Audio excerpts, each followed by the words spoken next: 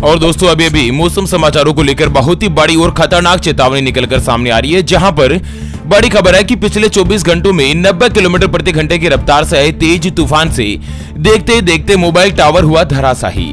कई मकानों में पहुँचा नुकसान, और इसी के साथ अगली बड़ी खबर आ रही है कि लगातार पाँच दिन से चल रही तूफानी हवाओं के कारण 2000 से ज़्यादा किसानों की फ़सल हुई तबाह है। उसके अलावा मौसम विभाग ने अगले तीन से लेकर पाँच दिनों के मद्देनजर देश भर के 17 राज्यों में भारी बारिश के साथ ही कई जगहों पर खतरनाक तूफ़ान की चेतावनी जारी करी है, जहाँ पर पाकिस्तान के रास्ते एक खतरनाक तूफ़ान भारत देश में दस्तक देने जा रहा है, जिसका खतरा अगले तीन से लेकर चार दिनों तक लगातार बना रहेगा। तूफ़ान में हवाओं की स्पीड लगभग 90 किलोमीटर प्रति घंटे की रफ्तार से बताई जा रही है। तो दोस्तों एक एक करते हुए सभी राज्यों के मौसम समाचारों की तरफ़ बड़ा अपडेट यहाँ पर जानते हैं कि कहाँ पर बारिश होगी, कहाँ पर तूफानी हवाओं के साथ ही कहाँ पर गर्म हवाएँ, यानी कि लू की चेतावनी बताई गई है। किन राज्यों में कब कब मानसून की एंट्री होगी? पूरी जानकारी अपन एक ही वीडियो में जानने वाले हैं। ऐसे में वीडियो को पूरा लास्ट तक ज़रूर देखिए। और हाँ मित्रों, वीडियो को लाइक करके कमेंट बॉक्स में अपने गाँव, शहर या फिर राज्य का नाम ज़रूर बताएँ, ताकि अगले वीडियो में आपके यहाँ की कोई भी बड़ी खबर या ब्रेकिंग न्यूज़ हेडलाइंस हो ना तो उसे सबसे पहले आप तक लेकर आ सके। चलिए, मौसम समाचारों की तरफ़ आगे बढ़ते हैं। उससे पहले आपको एक महत्वपूर्ण बात बताना चाहूँगा की ज़िंदगी में आप कई ऐसे लोगों से मिले होंगे जो की बहुत ही ज़्यादा मेहनत करते हैं। तो वही आप कुछ ऐसे लोगों से भी मिले होंगे जो बहुत कम मेहनत करने के बावजूद भी बहुत ही आगे तक पहुँच जाते हैं। वहीं ज़िंदगी में आपको जैसे लोगों से भी मिले होंगे, जो पूरी उम्र भर मेहनत करते ही रहते हैं, लेकिन आखिर वो हासिल नहीं कर पाते जिनके वो हकदार होते हैं। यानी कि जीवन उनका गरीबी में ही निकल जाता। मित्रों, ये ग्रहों का खेल नहीं तो और क्या है? और इसी के समाधान के लिए हमारे गुरु जी आप तक लेकर आए हैं आपके अपने जीवन के बारे में व्यक्तिगत यानी कि पर्सनलाइज्ड कुंडली, जिससे आप घर बैठे यह पता लगा सकेंगे कि आपके नव ग्रह आपके बारे में क्या कहना चाहते हैं। क्या आपकी कुंडली यानी कि किस्मत में कोई दोस्त तो नहीं, कोई ग्रह आपके लिए कमज़ोर तो नहीं, और उसको मज़बूत करने का उपाय क्या है?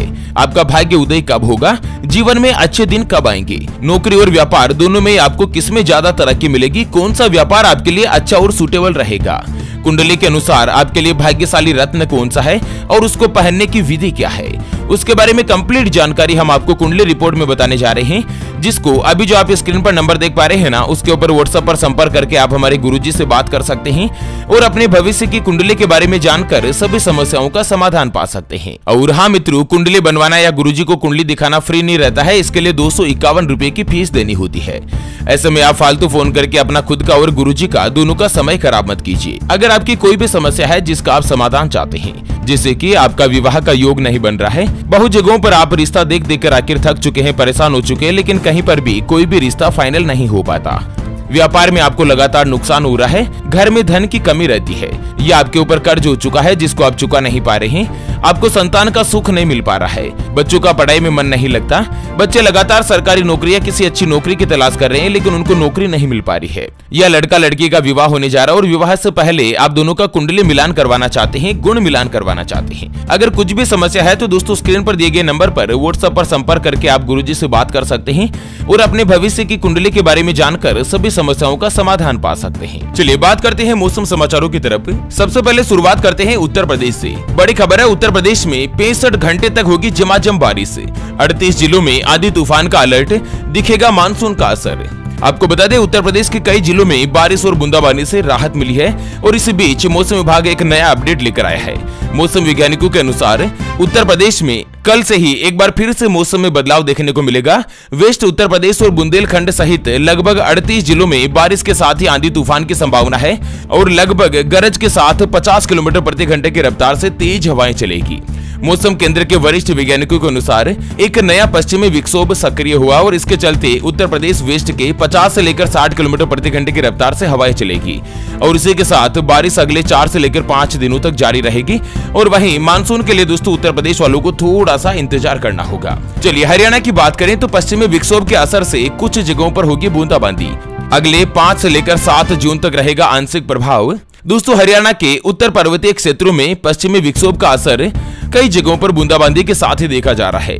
अगले तीन दिनों की बात करें तो हरियाणा के कई जिलों में पश्चिमी विक्षोभ के कारण दोस्तों बूंदाबांदी, बारिश के साथ ही कई जगहों पर तेज और तूफानी हवाएँ चल सकती है। मौसम विभाग ने यहाँ पर भी अलर्ट जारी किया है।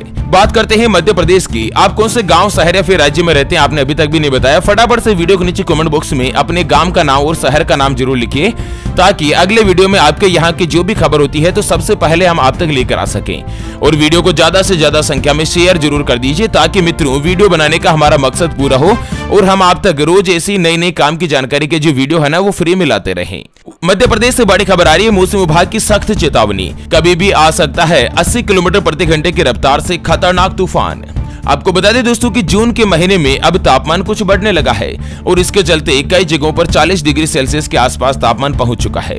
लेकिन बीते दिन सुबह से ही तेज धूप के चलते गर्मी बढ़ गई है और मध्य प्रदेश में अगले तीन से लेकर पाँच दिनों के मद्देनजर राज्य में अस्सी किलोमीटर प्रति घंटे की रफ्तार से तेज तूफानी हवाएँ चल सकती है और कई जगहों पर हल्की बारिश के साथ बूंदाबांदी और कई जगहों पर तूफानी बारिश और गरज के साथ बिजली चमकने की भी संभावना है। चलिए बात करते हैं छत्तीसगढ़ राज्य की। तो बड़ी खबर है, छत्तीसगढ़ के कई स्थानों पर हल्की बारिश के साथ ही आंधी तूफ़ान का अलर्ट।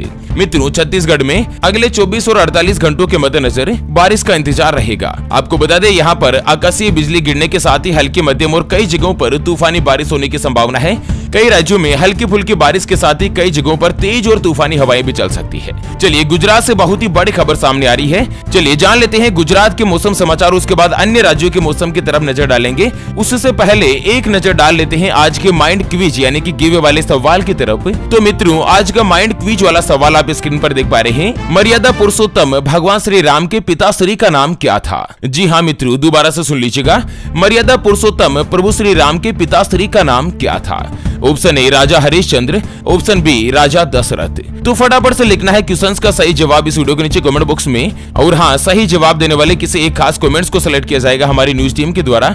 और मित्रों, उसे दिया जाएगा एक बम्पर और सरप्राइज़ गिफ्ट आपको वीडियो के नीचे कमेंट्स करके वीडियो को शेयर करना है। चलिए बात करते हैं गुजरात के मौसम समाचार। तो गुजरात में चक्रवाती तूफ़ान को लेकर हुआ अलर्ट बारिश के साथ चलेगी तेज हवाएँ। आपको बता दें, गुजरात के कई जिलों में मौसम बिगड़ने वाला है। राज्य में वाइपर जो चक्रवाती तूफ़ान आने वाला और इसके कारण कई जिलों में तेज हवाओं के साथ ही बारिश होने का अलर्ट जारी हुआ है। मौसम विभाग के अनुसार, अरब सागर में एक निम्न दबाव का क्षेत्र बन रहा है और इसके चलते यह अगले दो दिनों में चक्रवात में बदल जाएगा और इस चक्रवाती तूफ़ान का असर गुजरात के अलावा महाराष्ट्र के भी कई जिलों में देखा जाएगा। मौसम विभाग का कहना है कि 6 से लेकर 9 जून तक चक्रवात बाइपर जोई के चलते तेज आंधी के साथ बारिश होगी और गुजरात में हवाओं की रफ्तार 50 किलोमीटर प्रति घंटे की रफ्तार से भी ज़्यादा हो सकती है।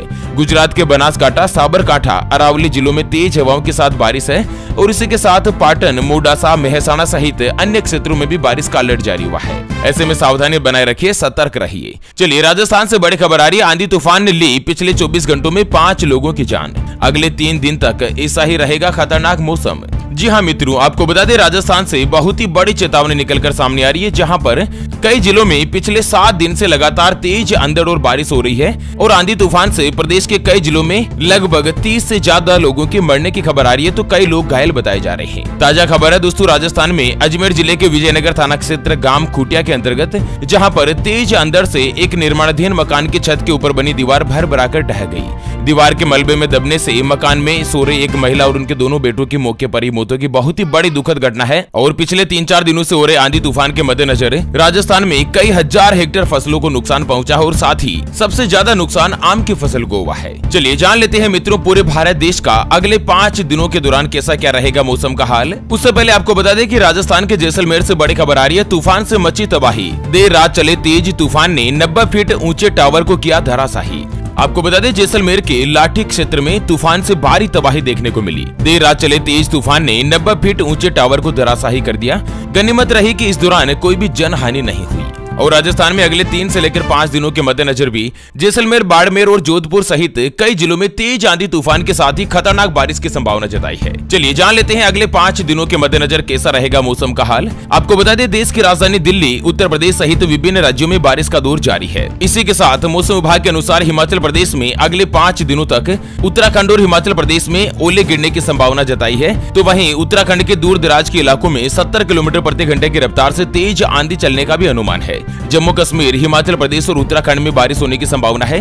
देश की राजधानी दिल्ली में अगले दो दिनों तक आंधी तूफ़ान की संभावना रहेगी। उसके अलावा, उत्तर प्रदेश, केरल, लक्षद्वीप, साउथ इंटीरियर कर्नाटक, तमिलनाडु और आंध्र प्रदेश में भी बारिश की संभावना बनी रहेगी। साथ ही अगले पाँच दिनों के मद्देनजर विदर्भ, मराठवाड़ा में तापमान जो 40 से लेकर 42 डिग्री सेल्सियस के आसपास रह सकता है, जबकि पश्चिमी हिमालय क्षेत्र, राजस्थान, पंजाब, हरियाणा, चंडीगढ़ और दिल्ली में चार से लेकर आठ डिग्री सेल्सियस की गिरावट रहेगी और यहाँ पर आंधी तूफ़ान के साथ ही तेज हवाएँ चल सकती है। बाकी बिहार और झारखंड में भी दोस्तों मानसून की जो गतिविधियाँ वो बिगड़ेगी।